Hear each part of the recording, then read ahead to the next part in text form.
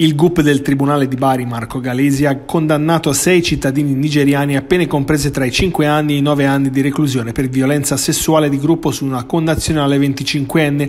avvenuta nel Cara di Bari Palese nel 2017. La sentenza è stata emessa con il rito abbreviato nell'aula bunker del Tribunale di Bitonto.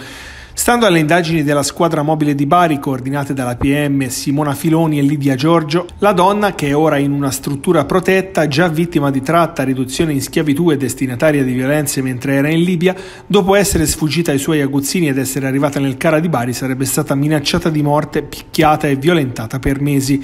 Alcuni degli imputati sono stati destinatari giorni fa di un'altra misura cautelare emessa dalla DDA di Bari nei confronti di 32 persone perché ritenuti appartenenti a una gang mafiosa nigeriana che aveva base logistica nel Cara di Bari dedita principalmente allo sfruttamento della prostituzione. Agli atti dell'inchiesta sulla mafia nigeriana ci sono anche le dichiarazioni della vittima della violenza sessuale, la quale ha descritto agli inquirenti il clima di terrore che il gruppo incuteva su tutti gli ospiti del centro di accoglienza. Il giudice ha condannato inoltre gli imputati al risarcimento danni nei confronti delle costituite parte civili, la ragazza vittima con provvisionale di 10.000 euro e le associazioni Gens Nova e Giraffa.